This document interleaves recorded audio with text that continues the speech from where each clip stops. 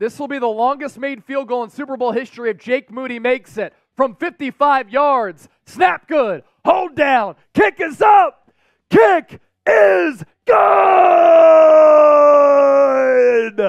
Jake Moody from 55 yards away redeems himself after two misses here at Allegiant Stadium in Las Vegas in the preseason and a shaky playoffs up to this point puts the Niners on the board.